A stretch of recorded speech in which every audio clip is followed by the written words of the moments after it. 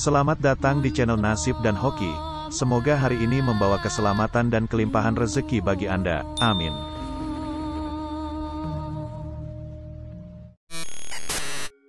Assalamualaikum, salam sejahtera, Om Swastiastu, Rahayu, Rahayu, Rahayu. Pada episode video kali ini, channel Nasib dan Hoki akan mengajak panjenengan sedulur semuanya untuk membahas mengenai kekuatan terpendam lima elemen pasaran Jawa, yaitu pasaran Pahing, Pon, Wage, Kliwon, dan Legi menurut kitab Primbon Jawa kuno. Dalam memaknai manusia sebagai bagian dari bumi dan alam semesta, sering dikatakan bahwa manusia merupakan jagat cilik sedangkan alam raya ini adalah jagat gede, manusia adalah miniatur dari alam semesta. Berdasarkan pemahaman tersebut, maka dapat diketahui bahwa manusia memiliki penyusun atau komponen yang sama dengan alam semesta, baik itu yang bersifat fisik materi ataupun juga spiritual. Secara spiritual, manusia memiliki tujuh macam titik cakra yang juga dimiliki oleh alam semesta. Tujuh titik cakra di alam semesta itu tersebar pada beberapa lokasi koordinat tertentu di permukaan bumi. Sedangkan secara fisik, manusia tersusun atas berbagai unsur utama yang tentunya juga sama dengan alam semesta, yaitu unsur api, unsur logam, unsur air, unsur tanah, dan unsur kayu atau udara.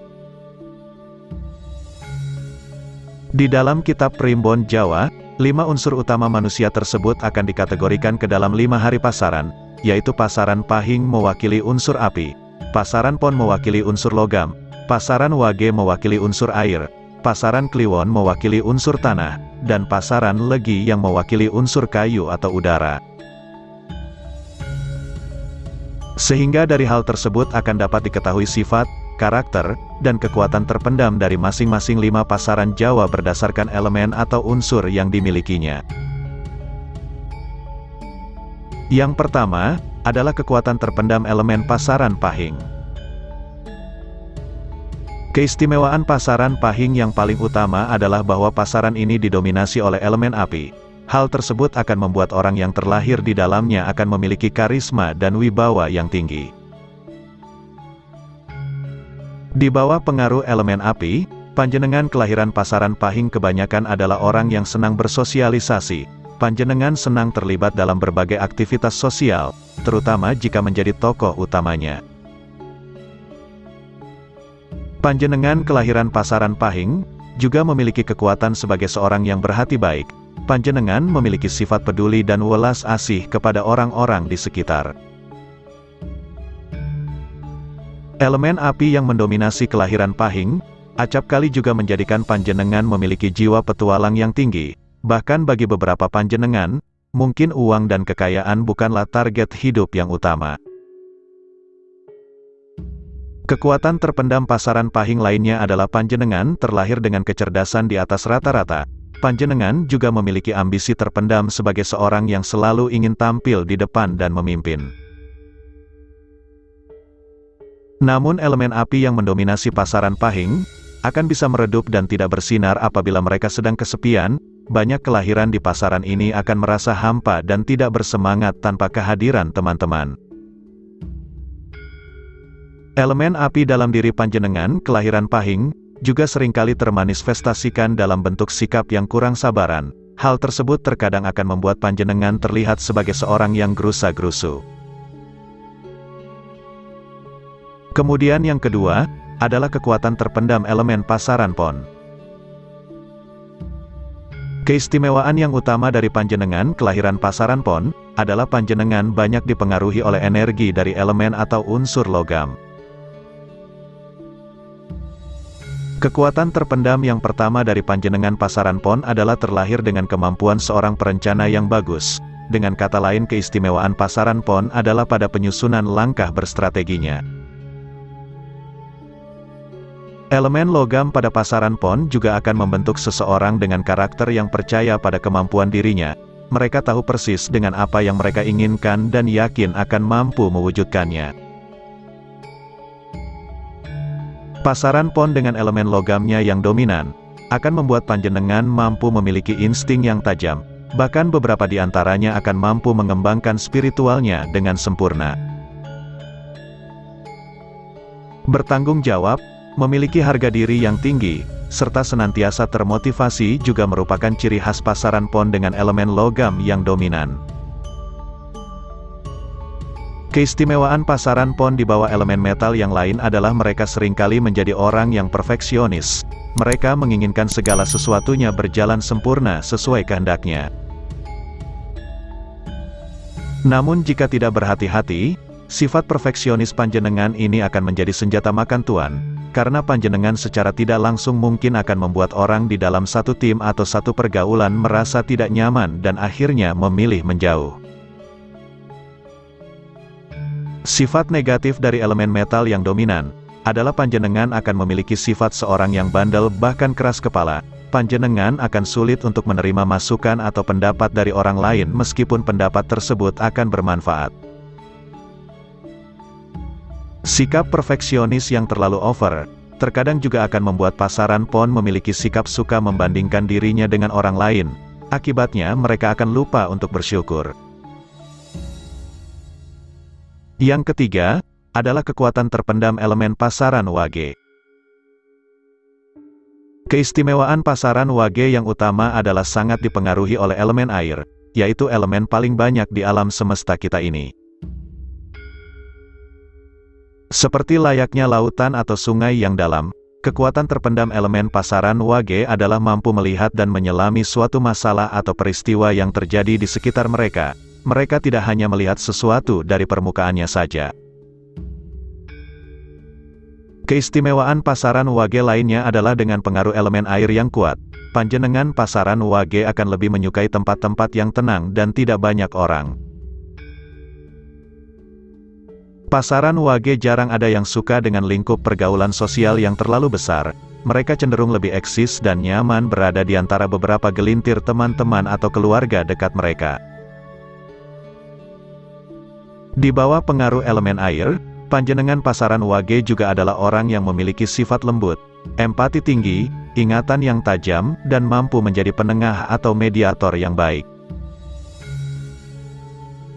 Pasaran wage juga sering kali terlalu menjadi banyak pikiran terutama jika rencana utamanya gagal, namun positifnya mereka memiliki banyak langkah antisipasi sebagai alternatif yang lain. Adapun kelemahan pasaran wage di bawah pengaruh elemen air, adalah panjenengan kerap kali menjadi seorang peragu, panjenengan bimbang dan kurang begitu bisa mengekspresikan ide dan gagasan di hadapan orang banyak. Selanjutnya urutan keempat, adalah kekuatan terpendam elemen pasaran Kliwon. Keistimewaan pasaran Kliwon yang terutama, adalah sangat dipengaruhi oleh elemen bumi atau yang biasa disebut dengan elemen tanah. Panjenengan pasaran Kliwon di bawah elemen tanah yang kuat, memiliki kekuatan terpendam sebagai seorang pengayom yang baik, lemah lembut serta ramah, apa adanya, dan menjunjung tinggi kejujuran. Banyak pasaran Kliwon dengan elemen tanah yang dominan, terpanggil untuk melayani sesama dengan memenuhi panggilan hidupnya sebagai seorang penyembuh, baik itu penyakit fisik, mental, medis, ataupun non-medis. Keistimewaan pasaran Kliwon yang lainnya adalah, bahwa elemen tanah yang menaunginya akan membuat pasaran Kliwon sebagai pribadi yang mencari keselarasan dan harmoni dengan lingkungannya, mereka juga kerap sekali menjadi orang yang menomor satukan kesetiaan. Panjenengan kelahiran pasaran Kliwon, apabila mau mengambil resiko maka akan cocok jika menjadi seorang pengusaha mandiri, panjenengan memiliki kedisiplinan dan stabilitas pribadi yang baik, serta kebanyakan adalah orang yang dapat diandalkan. Namun mungkin hal itu akan sulit dilakukan, karena dengan pengaruh elemen tanah yang kuat, maka seorang pasaran kliwon lebih suka dan lebih nyaman bermain aman, bahkan mereka cenderung membentengi diri mereka sendiri agar tidak terjebak dalam situasi yang berujung pada kesulitan. Kelemahan pasaran kliwon lainnya sebagai akibat pengaruh elemen tanah yang dominan adalah mereka terkadang terlalu peduli untuk mengurusi orang lain. Namun akibatnya, mereka tidak lagi memiliki tenaga dan waktu untuk mengurus dirinya sendiri. Yang terakhir, adalah kekuatan terpendam elemen pasaran legi. Keistimewaan pasaran legi yang utama adalah pasaran ini memiliki energi yang dominan dari elemen atau unsur kayu. Elemen kayu juga sering dikategorikan sebagai elemen udara.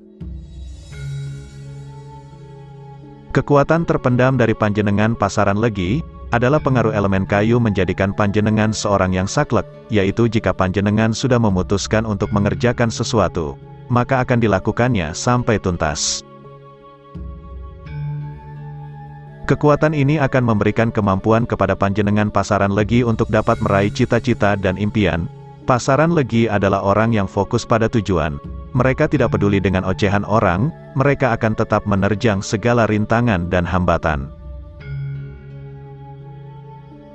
Keistimewaan pasaran legi di bawah naungan elemen kayu lainnya adalah mereka terlahir dengan sifat alami sebagai seorang yang adil, Pasaran legi tidak suka dan bahkan akan bertindak ketika menyaksikan ketidakadilan yang terjadi di depan matanya. Elemen kayu juga akan menjadikan pasaran legi sebagai seorang pemikir. Mereka memiliki logika berpikir yang bagus dan bisa diterima oleh akal sehat banyak orang. Musuh utama pasaran legi adalah amarahnya, tidak jarang mereka akan menjadi orang yang mudah tersinggung terhadap hal-hal kecil dan remeh-temeh. Pengaruh dari elemen kayu juga akan memberikan efek pasaran legi sebagai seorang yang sulit untuk diajak berembuk. Mereka akan selalu mempertanyakan apa, bagaimana, dan kenapa, kata sepakat akan jarang dicapai dari pasaran ini. Itulah tadi pembahasan kita hari ini mengenai kekuatan terpendam lima elemen pasaran Jawa. Semoga dapat menjadi pengetahuan dan wawasan tambahan mengenai Kauru Jawa. Sebagai penutup video ini selalu admin panjatkan doa kepada Tuhan agar panjenengan sekeluarga senantiasa diberi keselamatan, kesehatan, dan kerezekian yang baik. Amin.